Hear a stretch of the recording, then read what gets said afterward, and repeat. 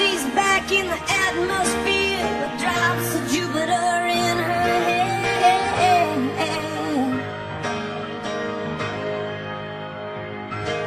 She acts like summer and walks like rain, reminds me that there's time to change.